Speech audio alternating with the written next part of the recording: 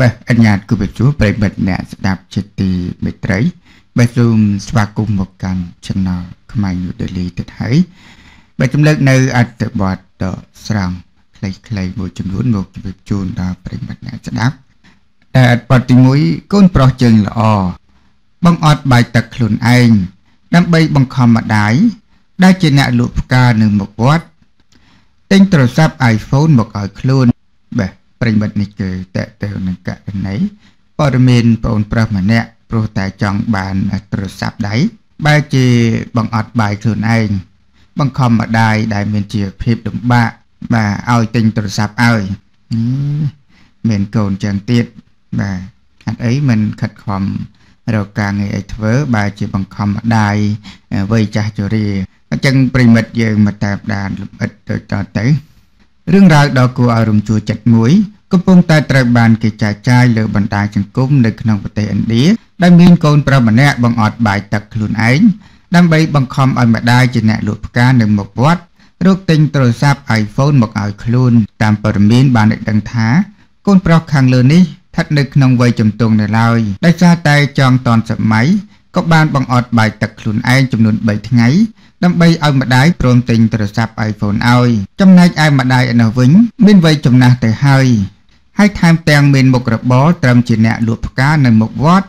ដែលមិនសូវមានចំណូលប្រមាណទៀតប៉ុន្តែដោយសារមិនដាច់ចិត្តឲ្យកូនប្រុសអត់បាយទឹកក៏ទ្រាំរីថាមសន្សំទិញទូរស័ព្ទមកឲ្យកូនយ៉ាងណាមិញម្ដាយបានដឹងថាខ្លួនមិនបានខឹងកូនប្រុសនោះទេ មានតែសប្បាយចិត្តដែលបានបំពេញបំណងរបស់កូន តែក៏សង្ឃឹមថាកូនប្រុសនឹងធ្វើការយកលុយនោះមកឲ្យខ្លួនវិញផងដែរដោយឡែកមហាជនអ្នកលេងបណ្ដាញសង្គម ក៏បាននាំគ្នារិះគន់ឥតសំចៃមាត់ទៅកាន់កូនប្រុសនោះមួយអស់ដៃព្រោះធំបណ្ដឹងហើយនៅមិនមានទំនួលខុសត្រូវស្ទុកចិត្តឲ្យម្ដាយមកលំបាកព្រោះតែខ្លួនបែបនេះបាទប្រិមិត្តនេះគឺរឿងរ៉ាវបាទកើតឡើងនៅឯប្រទេសឥណ្ឌានោះទេយុវជនម្នាក់បាទដោយសារតែចង់បានទូរស័ព្ទ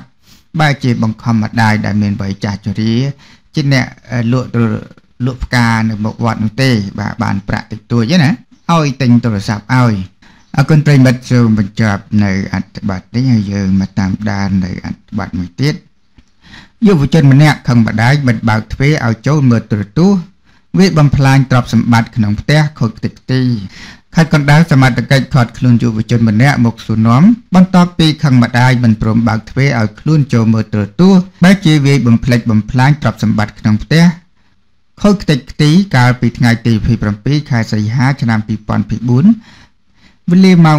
11:00នាទីស្ថិតនៅក្នុងភូមិក្បាលជ្រោយឃុំព្រែកគយស្រុកស្អាងខេត្តកណ្ដាល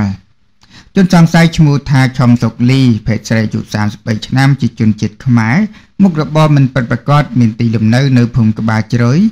ស្រុកស្អាងខេត្តកណ្ដាលជនសង្ស័យកន្លងមកត្រូវបានសមត្ថកិច្ចប៉ោះព្រែកគយធ្វើកិច្ចសន្យាចំនួន3លើករួចមកហើយ ករណីធ្វើឲ្យខូចខាតដោយចេតនាចំនួន2លើកនិងគម្រាមកំហែងថានឹងសម្លាប់ម្ដាយមួយលើក ចំណែកឯជនរងគ្រោះឈ្មោះស្មិតធោភេទស្រីអាយុ60ឆ្នាំជាជនជាតិខ្មែរមុខរបរកសិករមានទីលំនៅនៅភូមិក្បាលជ្រោយឃុំព្រែកគយស្រុកស្អាងខេត្តកណ្ដាលបានខូចខាតទ្រព្យសម្បត្តិសម្ភារៈឆ្នាំងបាយអគ្គិសនីមួយគ្រឿង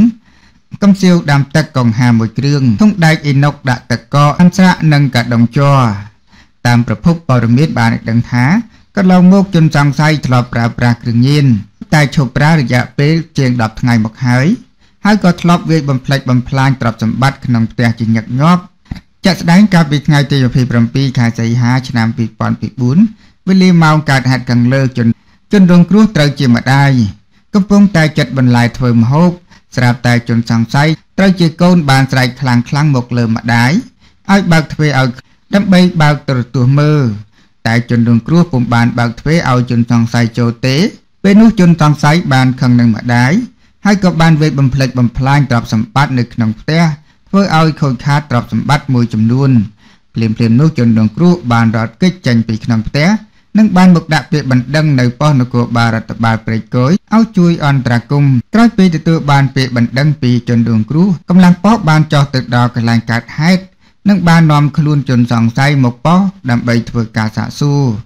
បច្ចុប្បន្នជនសង្ស័យត្រូវបានឃាត់ខ្លួនបញ្ជូនមកកាន់អធិការដ្ឋាននគរបាលស្រុកស្អាងដើម្បីកសាងដំណឹងរឿងចាត់ការតាមនីតិវិធីច្បាប់បាទប្រិមិត្តនេះគឺតកតើងនឹងកូនប្រុសអកតញ្ញូខឹងម្ដាយបែរជាវាយបំផ្លិចបំផ្លាញទ្រព្យសម្បត្តិអស់បាទកូននេះចង្រៃមែនតែន អគុណប្រិមិត្តសូមបញ្ចប់នៅអត្ថបទខ្លីទាំងពីរនេះ